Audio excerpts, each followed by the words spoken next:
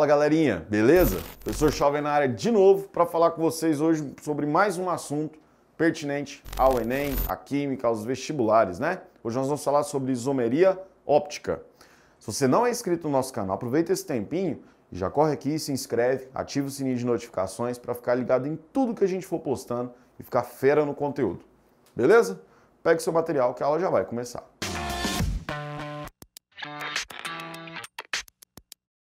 Bom, galerinha, hoje nós vamos falar sobre a isomeria óptica. Olha o nome, óptica, né? A gente lembra de luz, né? De visão, de né? onda, né? É o seguinte, galera, isomeria óptica, ela tem um protagonista, é o carbono quiral, tá? Ou centro de quiralidade, né? Que é o carbono que possui os quatro ligantes diferentes. Vou falar de novo, hein? Carbono quiral, ou centro de quiralidade, ou centro quiral, ou carbono assimétrico, é o carbono que possui os quatro ligantes diferentes. Por que, que esse cara ele é um dos protagonistas da isomeria óptica? Porque ele vai ser capaz de desviar a luz. Aí você fala, professor, como assim desviar a luz? Vamos entender aqui essa parte inicial? Na isomeria óptica, a gente vai ter que analisar a luz polarizada. Então vamos só entender, vou dar um panoramazinho aqui para ficar claro para você. A luz, pessoal, é composta de um feixe magnético e outro elétrico, por isso que a gente chama de onda eletromagnética. Ela vibra em todas as direções. A luz ela se propaga em todas as direções. Se eu pegar essa luz natural, ou seja, a luz não polarizada, e passar ela por uma substância que a gente chama de polarizador, ela vai ser transformada em apenas um plano de vibração, um feixe de vibração. Essa luz polarizada, então, que está em apenas um feixe de polarização, ou melhor, em um plano de vibração, perdão, eu consigo desviar esse plano de vibração para a direita ou para a esquerda. E quem vai promover esse desvio? Isso mesmo, o centro assimétrico, o centro quiral. Ele vai conseguir fazer com que a molécula que possui ele consiga desviar a luz para a direita ou para a esquerda. Tudo bem? Então, olha só, eu coloquei aqui um exemplo já para vocês do ácido lático, eu já quero mostrar aqui. Esse cara é um carbono quiral. Ó. Ele é um cara que possui os quatro ligantes diferentes. Se você notar, ele não tem simetria nenhuma. Você pode tentar traçar um plano de simetria, você não vai conseguir, porque todos os seus quatro ligantes são diferentes. Na isomeria óptica me interessa ele, porque ele vai ser capaz de desviar o plano da luz polarizada. Aí é o seguinte, eu sempre, né, ou na maioria das vezes, melhor dizendo, vou possuir um par de isômeros. Esse par de isômeros tem que ser a imagem especular um do outro. Então, o que é uma imagem especular? E detalhe, tem que ser uma imagem especular não sobreponível. Professor, como assim? Imagina aqui, ó, minha mão. O exemplo que todo livro traz. A minha mão está aqui, ó. Se eu colocar um espelho na frente da minha mão, qual que vai ser a imagem que vai ser gerada? Muito bem, essa, da minha outra mão, é isso? Se você notar, então, uma é a imagem especular da outra. Mas, se eu for tentar sobrepor, ó, uma está aqui, vou tentar sobrepor com a outra. Acontece uma sobreposição perfeita? Não, ó. Indicador de uma, desculpa, polegar de uma, polegar da outra. Indicador de uma, indicador da outra. Tá vendo que é uma sobreposição que não é perfeita? Ou seja, as imagens não são sobreponíveis. Pessoal, quando eu tenho, então, compostos de igual fórmula molecular que apresentam assimetria, ou seja, apresentam centro quiral e geram a imagem especular um do outro, geram um composto que a imagem especular um do outro não é sobreponível, eu possuo isômeros ópticos.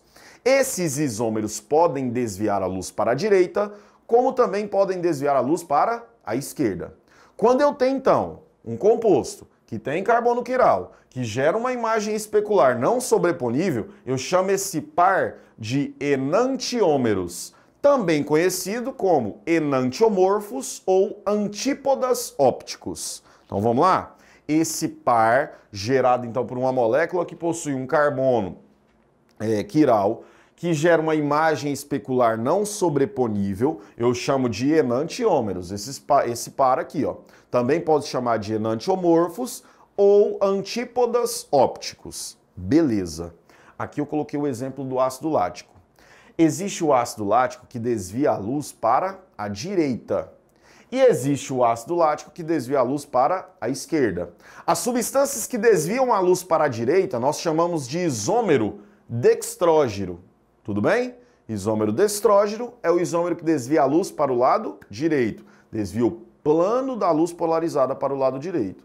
E o isômero que desvia a luz, o plano da luz polarizada para o lado esquerdo, nós chamamos de levógeno. Vamos lá? O dextrógeno eu posso chamar ele também de isômero positivo ou apenas isômero D, como eu estou mostrando aqui para vocês que esse é o ácido D-lático, ou seja, o ácido dextrógeno lático. Ele desvia a luz para a direita.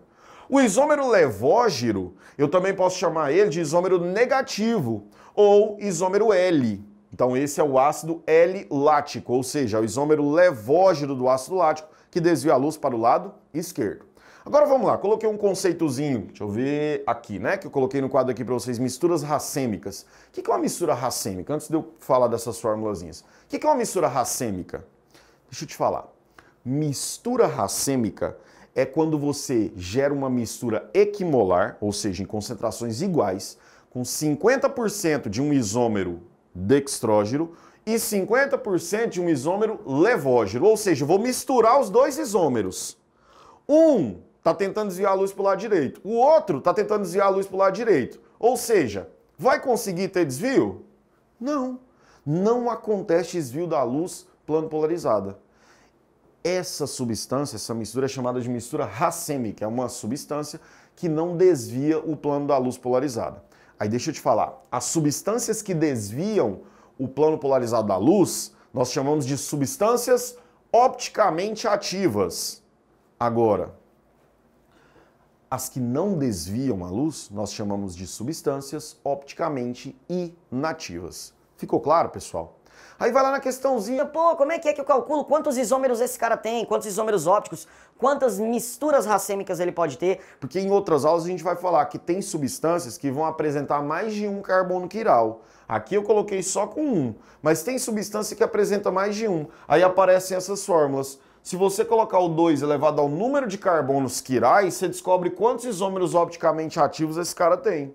Agora, se você coloca esse 2 elevado ao número de carbonos quirais menos 1, você descobre o número de misturas racêmicas que esse cara possui. Eu já coloquei aqui para vocês porque aparece bastante só para você entender. Mas a gente vai fazer uma aula em separado para resolver alguns exercícios sobre isomeria óptica, para eu te mostrar que existem casos de isomeria óptica em que o composto vai apresentar mais de um carbono quiral. Aí quando ele apresenta mais de um carbono quiral, você vai ver que tem uma possibilidade de isômeros ópticos, não é só um par. Às vezes acontece de ter mais de um par.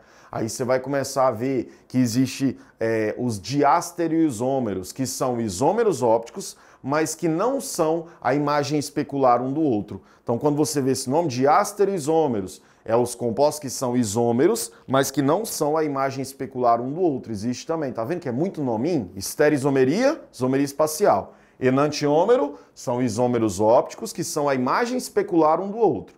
Diasterisômeros são isômeros ópticos que não são a imagem especular um do outro. E você vai ver também que existem compostos que possuem, por exemplo, dois carbonos quirais idênticos. Acontece isso, sabia? Quando eles possuem os dois carbonos quirais idênticos, acontece também a aparição de um negócio que a gente chama de isômero meso a gente vai discutir também nessa aula, o mesômero, tá?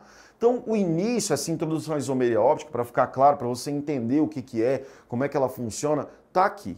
Mais para frente a gente dá uma aprofundada. Tudo bem? Espero que vocês tenham gostado dessa aula. Tá aqui então uma introdução da isomeria óptica para vocês. Se você gostou, já deixa o seu joia aqui, deixa. Vai me zoar aí, né? Deixa. Já deixa aqui o seu joinha, sua curtida, comenta, compartilha com a galera e não se esqueça, pessoal, acesse lá as nossas redes sociais, no Story, no feed, de todas as nossas redes sociais, você vai ver muita coisa boa, diquinha bem rápida para você se dar bem nas suas provas. Beleza? Muitíssimo obrigado e até a próxima.